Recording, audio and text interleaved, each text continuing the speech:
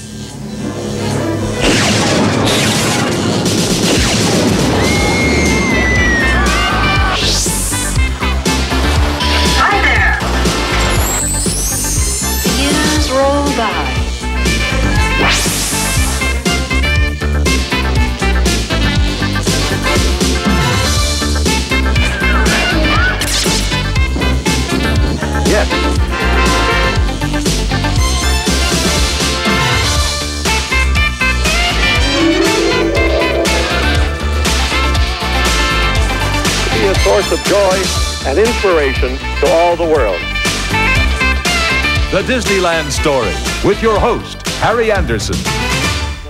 Wow, this time travel stuff is all right. I feel like a kid again. Of course, I won't be born for 20 years. The Disneyland story. So this is where it all began. Uh, won't you tell us all about it? Start at the beginning. Yeah, yeah. And when you come to the end, stop. It's 1928. Walt Disney has rolled the dice and won. Looky, looky, looky, come see the world's first talking cartoon, Steamboat Willie, featuring that young and debonair star of the stage and screen, Mr. Mickey Mouse. Well, Mickey becomes an international star, and Walt Disney begins to dream of an adventure into a new frontier of fun and fantasy. Saturday is Daddy's Day at the Disney household, so Walt takes his two little girls to ride the merry-go-round. While his kids have all the fun, he's stuck on a park bench with a bag of peanuts. Walt wonders, why isn't there a place where children and their parents can have fun together? A Very lovely thought, but not at all practical. The amusement parks of the 30s are dirty, dangerous tourist traps for suckers and their kids. Walt's opinion of these places is summed up in this scene from Pinocchio. There's something phony about all this. I've got to get him out of here. This joint ought to be busted by the health department. Walt resolves to build a new kind of park, a theme park. But where? His first inspiration comes to him from a young fan. Dear Mr. Disney, I love Mickey Mouse and Snow White, and when we go on vacation, I would like to come visit them. And you too. Well, this is not the first request to see where the Disney characters live. So Walt decides that the perfect home for his dream park would be right at his very own studios. The Disney artists draw up countless plans, but the dream is bigger than the land. So a great location hunt is launched. The terrain near the famous Hollywood Bowl? Too rugged. It's much too expensive to build near LA's towering 1953 skyscrapers. But if you head south on one of California's new uncongested freeways, you come to the orange groves of Anaheim. There he is, America's leading film pioneer, tromping around in an orange grove. Seems like Walt's finally lost it. What a peculiar place to have a party. Well, it may seem peculiar, but Walt knows better. Now all he's got to do is convince the world. After all, this is going to be an expensive dream. From the very start, it was a problem of getting the money to open Disneyland. And uh, we had everything mortgaged, including my, uh, my family. But uh, it takes a lot of money to uh, make these dreams come true. Almost nobody believes in Walt's dream or wants to help pay for it. He assembles an unparalleled creative staff, but his plans fail to attract investors who will gamble on his high-priced experiment. Only the Disney studio employees have faith. They offer to invest in the project themselves. But rather than passing the hat, Walt turns to his financial genius of a brother, Roy, for help. Roy convinces Walt to take his dream to the people through a brand new medium, television. Armed with this single sketch, Walt convinces a TV network to help finance his dream. In return, he produces Disneyland, the television show. A thing like that ought to be worth a fortune to someone. Now, let me see. It's a marriage made in the Magic Kingdom. The network gets a hit series, and Walt gets to show the entire nation what Disneyland, the place, will be like. Now we want you to share with us our latest and greatest dream. That's it, right here. Disneyland. Seen from about 2,000 feet in the air and 10 months away. Shooting out from here, like the four cardinal points of the compass, Disneyland is divided into four cardinal realms. Adventureland, Tomorrowland, Fantasyland, and Frontierland. We hope that it will be unlike anything else on this earth. A place of hopes and dreams, facts and fancy, all in one. Every Wednesday night, Walt updates America on the construction of the happiest place on earth. There's excitement in the air and on the ground, too, where things are happening fast. Sometimes too fast. Each tree of the orange grove is marked with a foolproof system. Red ribbons to clear, green to save. Hey, that bulldozer's plowing through everything. Can you believe this? The driver's colorblind. There's the newly dug rivers of America. Pretty impressive. But on the Fill the River Day, the torrents of water magically disappear into the sandy soil. Well, back to the old drawing board. Construction costs spiral upward. Even with the support of a major television network, the investment money is quickly exhausted. But instead of eliminating some attractions or cutting corners on others, Walt comes up with a great idea recycling. These horses are corralled at Coney Island, New York, and herded 3,000 miles to Walt's studio stables. The giant squid from the movie 20,000 Leagues Under the Sea will be taking up residence in Tomorrowland. Even the trees in Adventureland are rescued from the path of the new LA freeways. Well, when the landscaping money runs out, Walt instructs the gardeners to label the native weeds and shrubs with a few fancy Latin names. Genus Bogus botanicus. Ragweed. Construction becomes a race with the clock. If this park isn't ready for the summer crowds and vacationing families, it's going to mean almost certain financial ruin. Okay, coffee break's over, guys. Let's see a little hustle. Come on over, baby, a whole lot of shaking going on. Look alive, you swabs! Come on over, baby, baby, you can't go wrong. We can do it! Honey, I ain't faking, I got a whole lot of shaking going on. Let's go one time now. You know the penalty if you fail.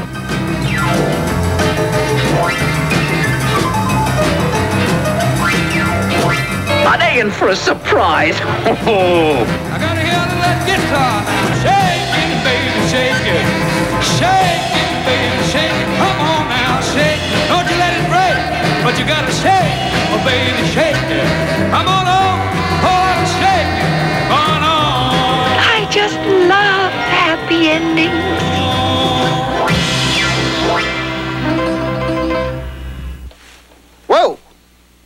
Down to the wire, but they made it.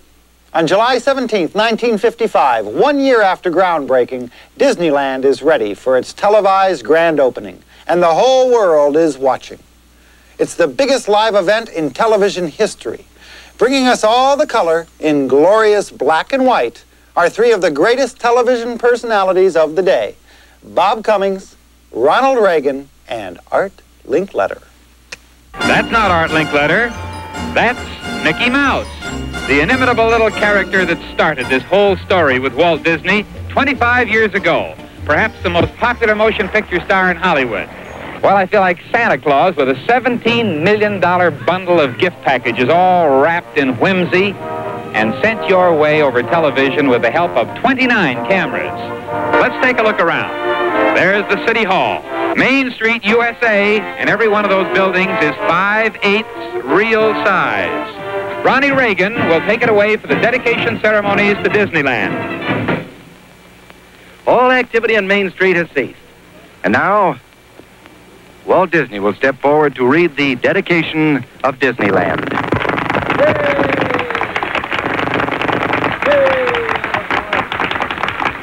To all who come to this happy place, welcome.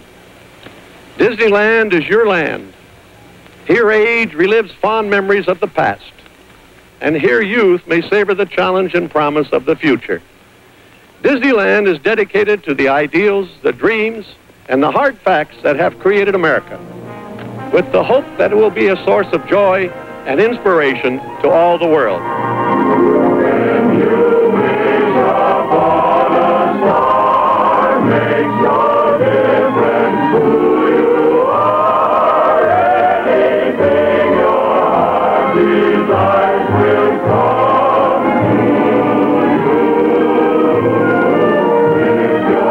Tries to show the viewers that Disneyland is really like an old friend. Each land will be patterned after famous Disney films they already know. You must join us in a cup of tea. Representing Frontierland is Fess Parker, the star of Walt's first hit TV series. When he was only three, Davy, Davy Crockett, king of the wild frontier. Fantasyland is led by the Disney characters. Well, anyway, I think they're Disney characters. There's Snow White and seven early dwarfs. And here's Tomorrowland's very own spaceman. Let's check out the proceedings in the rest of the park, starting with our exotic tour guide, Bob Cummings. Now, we are now at the beginning of a true life adventure into a still unconquered and untamed region of our own world. A Tahitian village where you can experience a slice of life as it exists in the paradise of the Pacific. And an African trading post, the spearhead ahead of civilization in those primitive lands. Now, we're all loaded up, I believe. Thank you, Captain. You can take her off. We're ready for a ride down the tropical waterways of the world. And that volley signals the arrival of a wagon train with the first visitors to travel through the gates of time and into our very historic past. And now, inside Frontierland to Art Linkletter. It's my pleasure to introduce the lovely lady and famous star whom Mr. Disney has asked to christen the Mark Twain. Ladies and gentlemen, Miss Irene Dunne. Hello, Irene. How are you? My, it's, it's listening. It's listening a little because it'll be shoving off in a moment. Hey, somebody on the port side ought to try a salad for lunch. The Mark Twain was the first paddle wheeler built in the United States in 50 years. Walt loved it so much that he mortgaged his own home to help pay for its construction. Well, now, Miss Dunne, you're holding a very special bottle here in your arms. Yes, I am, Walt. Did she say Walt? This bottle contains waters from all the leading rivers in America. Brought here from all these towns by the great rivers. That's right. So with these precious waters, I'm going to christen this boat the Mark Twain. And there the boat is christened, and it starts on its daily trips up and down the rivers of the world, of America, that is.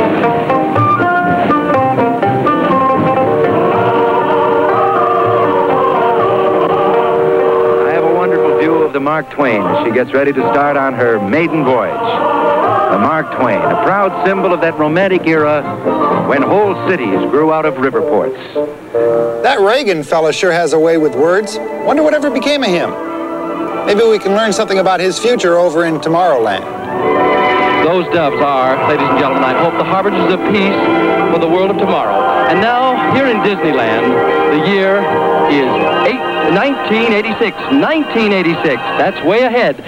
Yes, this is Tomorrowland. And it's not a stylized dream of the future, but a scientifically planned projection of future techniques by leading space experts and scientists. 1986, huh?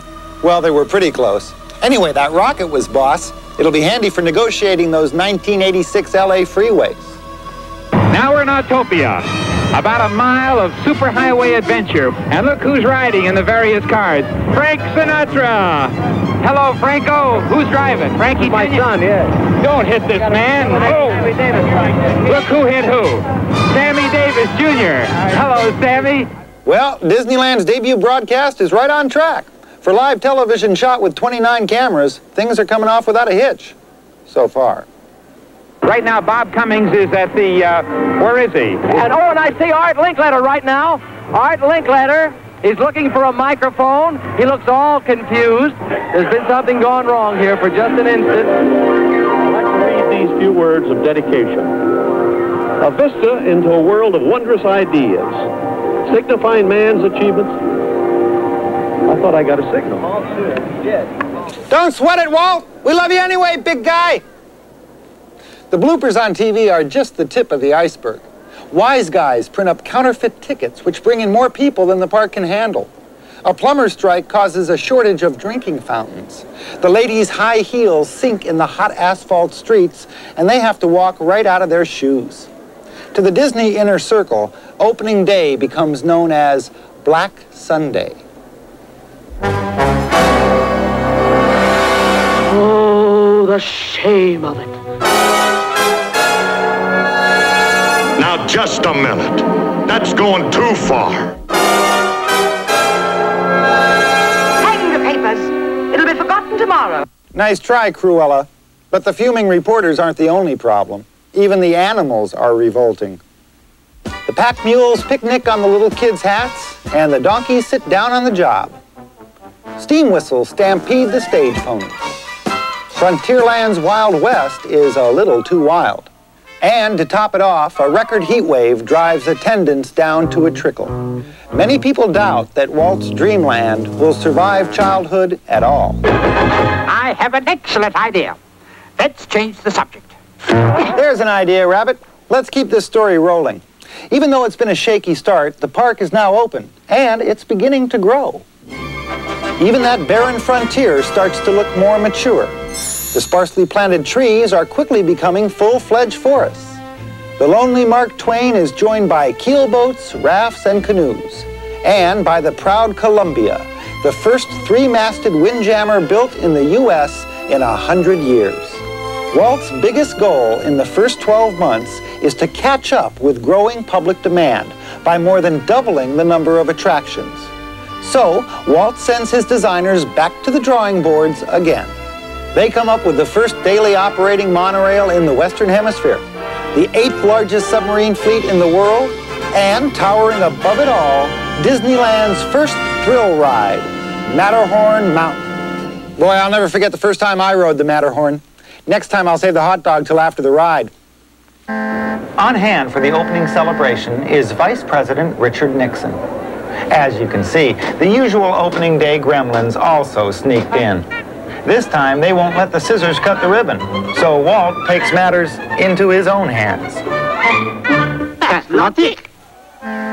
That's why he's the boss.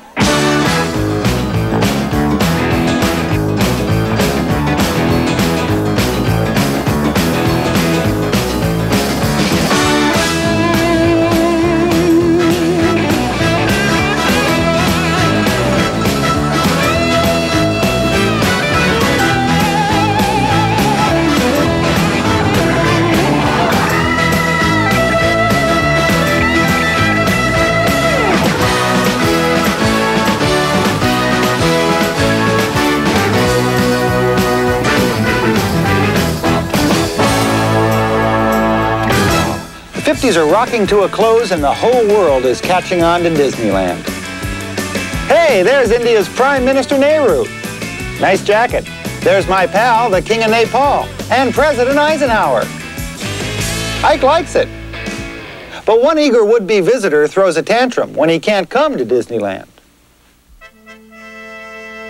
We work according to what the State Department wants to do. When they come in, they they uh, they have guests. If he's uh, Khrushchev was a guest of the government, and our chief of police, he just uh, was was a little worried. But we were ready for him. The press was ready. I had we had different shots, places where we'd take pictures with Khrushchev, and I had one that was my favorite, where I uh, we'd lined up in front of my eight submarines. You see, and I thought well, it'd be nice. I've been pointing to Mr. Khrushchev and saying, "Well, now, Mr. Khrushchev, here's my Disneyland submarine fleet." But it's the race for space that kicks off the 60s. And the Disney Imagineers use the new space technologies to launch a new era of electronic pixie dust. Let's all sing like the birds sing. Ba-ba-boo, ba-ba-boo, Look at. Look. It's amazing. A live puppet without strings. Just as we had to learn to make our animated cartoons talk, we had to find a way to make these characters talk too. Now, to accomplish this, we created a new type of animation. So new that we had to invent a new name for it. Uh, uh, uh, audio animatronics? Right, audio animatronics. Audio for sound. See, and electronically animated by sound. That's, what he's trying to say. Thank you. That was what I was trying to say. Excuse me, Walt. It's okay. After the success of the talking tiki birds, everyone wants to invest in Walt's new technology. And he's only too happy to oblige. These new toys are expensive. So Walt enlists corporate sponsors to fund construction of four entirely new shows for the 64-65 World's Fair in New York. You might be wondering how an animation studio like ours got into the World's Fair business. And frankly, I've often wondered about that myself. But we've been preparing for this international exposition for many years without realizing it. Little did we know when we dreamed up Mickey and Donald here that someday they would be the ancestors of the mammoth animated characters we've created for this fair, such as this Tyrannosaurus Rex here. The building of Disneyland gave us a new art and a new type of artist. One that works with a slide rule and a blowtorch instead of pencil and brush. These fellows are building a Tyrannosaurus Rex, weighing over 20,000 pounds. He'll be the heavy in our show Magic Skyway, a drama of prehistoric days.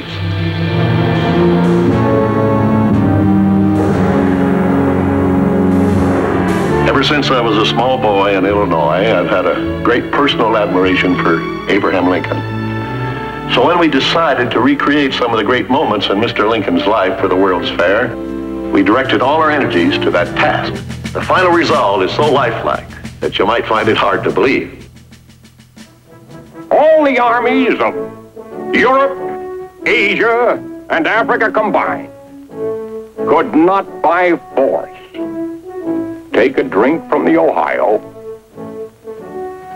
or make a track on the Blue Ridge in a trial of a thousand years. But with all these projects and a weekly TV show, when does Walt Disney find time to sleep?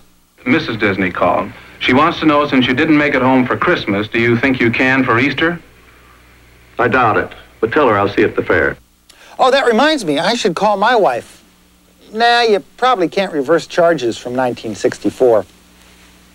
Now, another of our World Fair exhibits that features the audio animatronics is the Carousel Theater of Progress. Now, this contraption here might look like something from outer space, but is actually a control harness for programming the actions and gestures of our audio animatronic figures. Shall we show them how it works? Really well. This is the Carousel Theater host. Whatever the man in the harness does, this figure will respond simultaneously in the same manner. This electronically controlled method of programming can give us a wide range of movements. A broad gesture to the wink of an eye. That's it. Thank you. Thank you. Boy, an animatronic host. Of course, I'm the real thing. Hey, cut it out, guys. That's not funny. Our exhibit called It's a Small World is a salute to the United Nations Children's Fund. Our musical fantasy features the songs and dances of youngsters from more than 100 nations, each singing in his own native language. Now, when the current World's Fair ends, all four of our shows will find a permanent home at Disneyland, USA. Four brand new attractions, all coming home for a special celebration back at the Orange Grove. It's Disneyland's 10th birthday, and everyone is joining Disney's latest movie star, Mary Poppins, for a gigantic birthday party. A very merry birthday to me, to, to me. Oh, yeah. A very merry birthday to you. Who, me? Yes, you. Oh, me. Let's all congratulate us with another cup of tea. A very merry birthday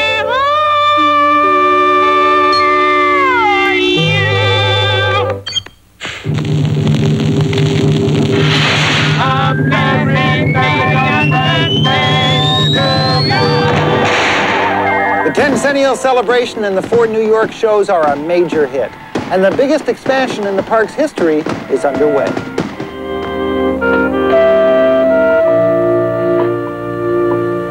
Disneyland has always had a big river and a Mississippi sternwheeler. It seemed appropriate to create a new attraction at the bend of the river. And so Disneyland's New Orleans Square came into being. New Orleans Square is Walt's biggest hit yet, and Disney's TV audience can hardly wait for the arrival of the scurvy pirates of the Caribbean. Har, har, cut off me leg and call me Peggy. Har, har, har.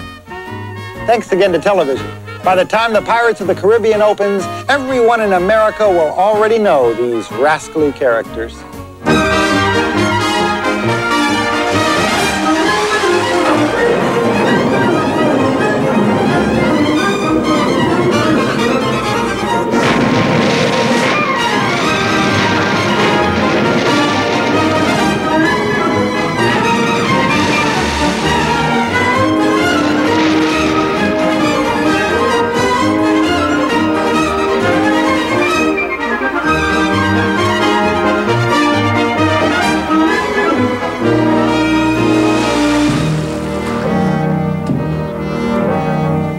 Would have been proud of his pirate success, but before the debut, Walt Disney takes a last look at his living dream.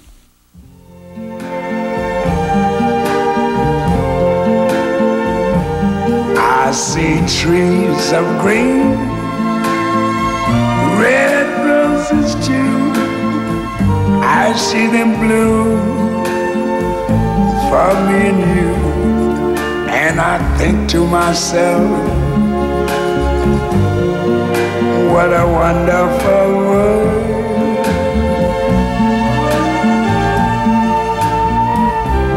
I see skies of blue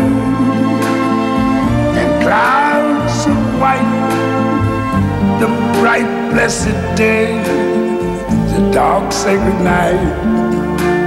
And I think to myself, what a wonderful world.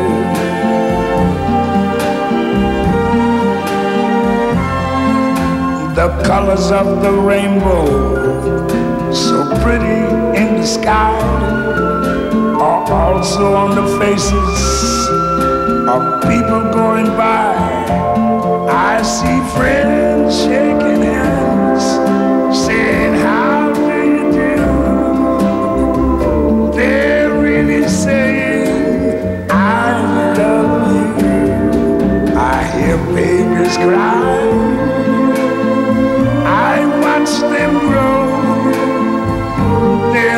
Much more than I never knew. And I think to myself,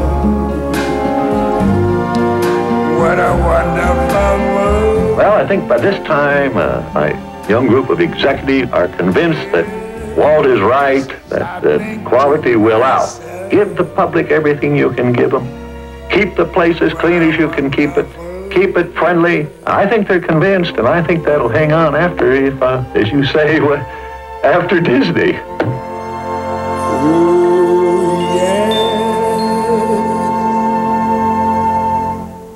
On December 15, 1966, the world says goodbye to its greatest dreamer. Newscaster Eric Sevareid puts into words what so many Americans feel in their hearts. Walt Disney was an original, Not just an American original, but an original, period. What Disney seemed to know was that while there is very little grown up in every child, there is a lot of child in every grown up. We will never see his like again. Walt's brother Roy takes the helm. Roy Disney, long the business genius behind the park, continues work on Disneyland's next attraction, the Haunted Mansion. Ooh, I bet it's going to be spooky. But should the mansion be scary or funny? To spook or not to spook? That becomes the first controversy of the after Disney era. Imagineers on one side say people love to be frightened. They say the old place is haunted or bewitched or some such fiddle-faddle. Fiddle-faddle and rot, sir. But not the little kids, counters the opposition.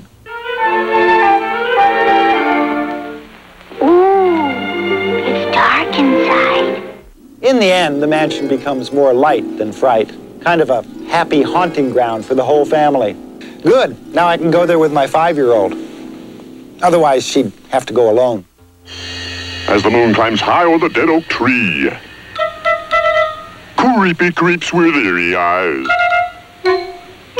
Grim grinning ghosts come out to socialize. Is he gone? You know, they say Disneyland's ghosts aren't all in the Haunted Mansion. After all the visitors have gone home, other kinds of gremlins come out of hiding and set about their mysterious tasks. And all this work goes on after midnight.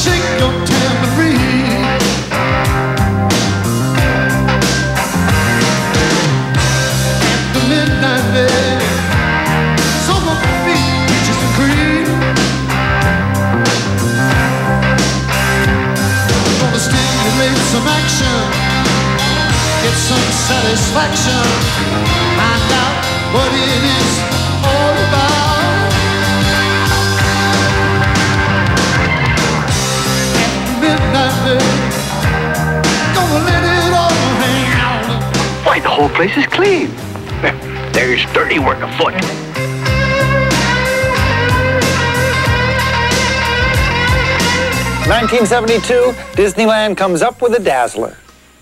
Wow! It's the Main Street Electrical Parade with over half a million light bulbs. I wonder if they'd loan me one for my refrigerator. There's something new a second mountain at Disneyland. The Matterhorn was the world's first steel thriller ride.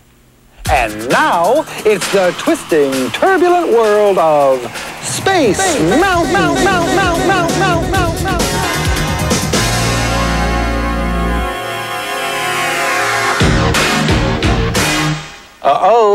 trouble in paradise. It seems Space Mountain's success in Tomorrowland has made a few of the residents of Frontierland a wee bit jealous. So it isn't long before the Country Bears get a mountain of their own. Big Thunder.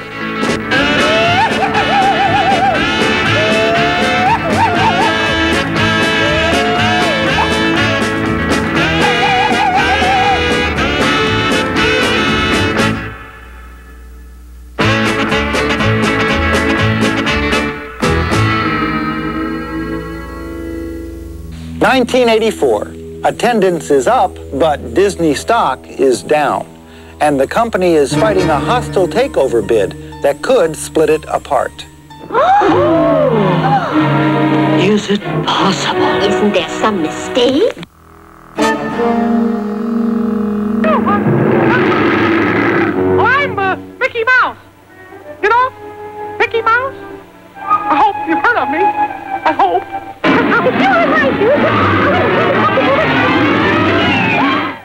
The smoke clears, the Disney company emerges stronger than ever with friendly investors and a new chairman of the board, Michael Eisner.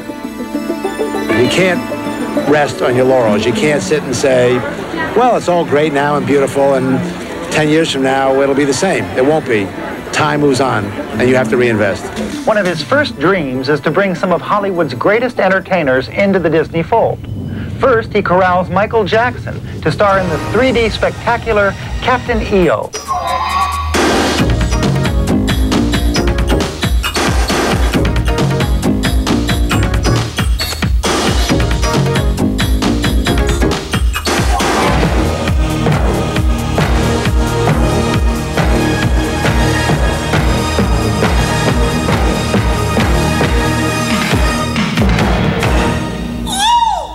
Wow! How'd he do that?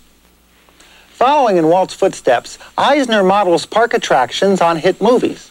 Again, he combines the state-of-the-art technology of the Disney Imagineers with Star Wars creator George Lucas and presto, Star Tours is launched.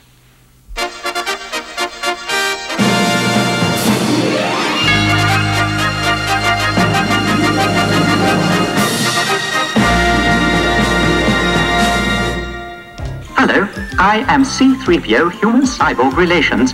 Welcome aboard the Star Speeder 3000.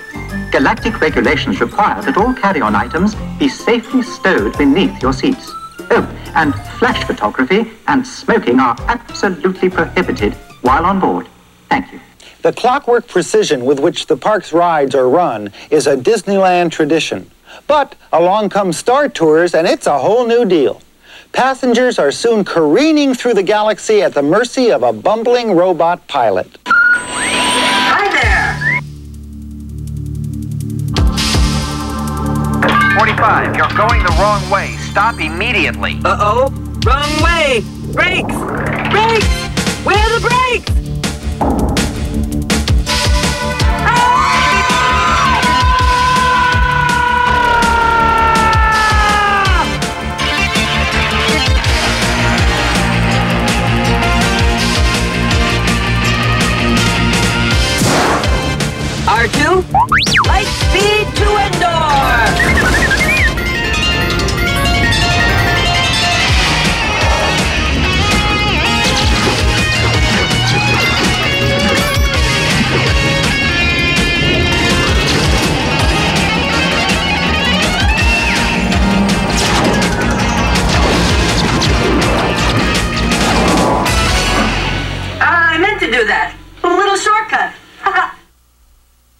With the dry Southern California summers, park guests get thirsty for some relief from the heat. People want to get wet. No splash, Captain. Sir, you want to splash, Mr. Starkey. I'll give you a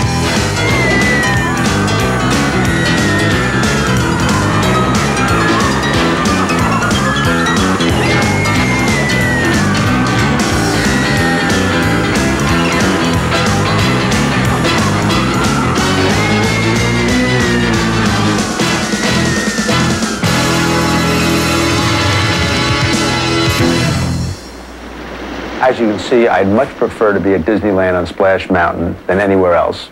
Nevertheless, we're in the serious business of presenting entertainment, and I think I got my inspiration, as it were, from uh, Walt Disney. I think, I think it was on the 10th anniversary, where he said, "We're just beginning."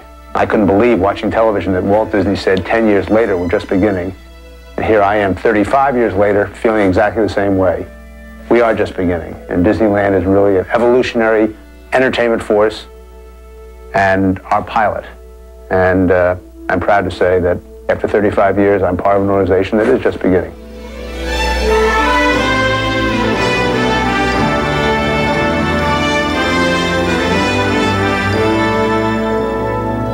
Well, that pretty much brings us back to today. So far, this trip's been a window into the past, but we've got enough left to peek a bit into the future, too. 1991 will see the young Indiana Jones in his own adventure spectacular and an incredible live Muppet show. The Little Mermaid, Ariel, and her friend Sebastian the Crab will swim onto the scene in 1993.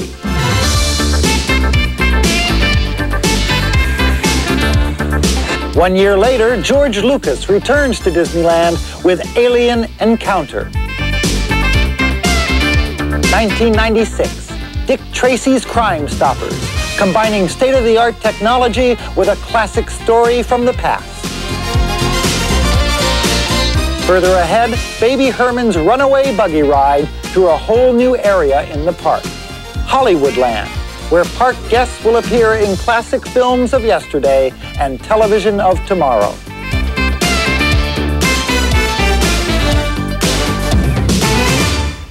Through already, huh?